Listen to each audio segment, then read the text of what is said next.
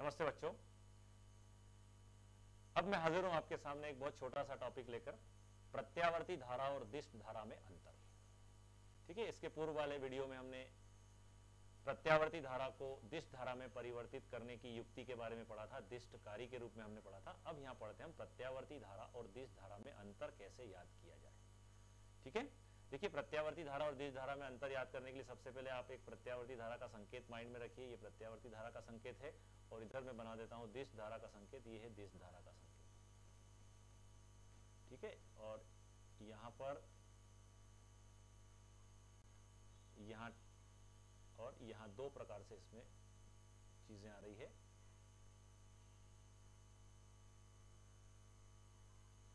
ठीक है? यहाँ पर इन दोनों को देखिए, प्रत्यावर्ती धारा है देश धारा है। अब इसके आधार पर हम इसके अंतर की बात करेंगे। प्रत्यावर्ती धारा अल्टरनेटिंग करंट और देश धारा डायरेक्ट देखिए, सबसे पहला बिंदु हमारे पास है, इसका परिमाण और दिशा दोनों आवर्ती रूप से बदलते रहते हैं। तो इस ग्राफ में देखिए, इसका परिमाण यहाँ पर ज़ीरो था। यहाँ पर परिमाण कितना है? ज़ीरो है। ये धीरे धीरे धीरे देखो, बढ़ रहा है, फिर ज़ीरो हुआ, फिर निगेटिव साइड में बढ़ा और फिर ज़ीरो हुआ। तो ये आवर्ती रूप से बदल रहा है। परिमाण भी बदल रहा है और इसकी दिशा भी बदल रही है। ऊपर भी जा रहा है और ये नीचे भी जा रहा है। तो जब इसका परिमाण और दिशा दोनों बदले तो प्रत्यावर्ती धारा लेकिन यदि परिमाण बदले या नहीं बदले, उसकी दिशा निश्चित रहती हो तो उसे हम कहते हैं डायरेक्ट करंट तो अब इसमें क्या हो गया? ये परिमाण भी बदल रहा है, देखो, ये परिमाण बदल रहा है, लेकिन दिशा नहीं बदल रहा है, ये नीचे की तरफ़ नहीं आ रहा है। तो इसमें परिमाण बदले, बदलता भी है और नहीं भी बदल सकता है, लेकिन दिशा तो निश्चित रहती ही है, और इसमें क्या होता है? दिशा भी बदलती है। एक छोटा सा डिफरेंस ये याद करिएगा। दूसरा है, समान वोल्टता की दिश धारा से अधिक खतरनाक है। मतलब प्रत्यावर्ती धारा दिश धारा से खतरनाक है। एसी, डीसी से ज़्यादा खतरनाक है और इसका उल्टा है कि समान वोल्टता की प्रत्यावर्ती धारा से कम खतरनाक है। इसको याद करने का तरीका याद रखिएगा।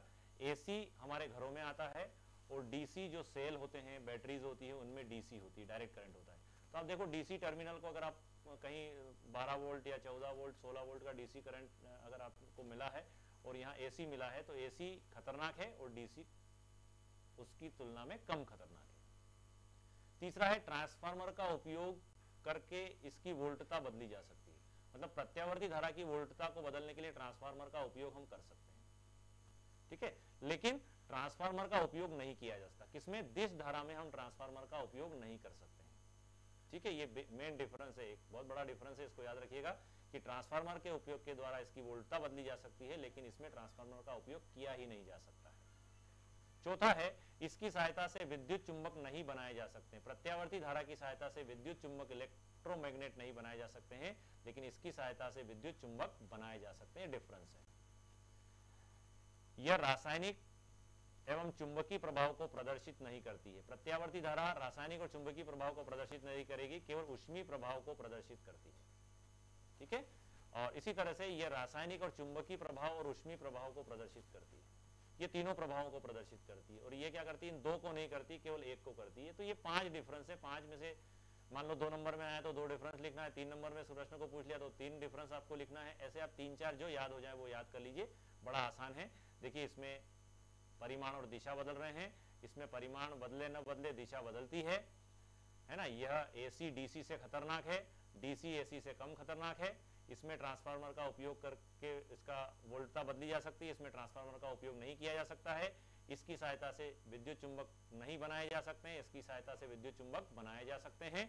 इस तरह से आप इस प्रश्न को अच्छी तरह से याद कर लीजिएगा। Thank you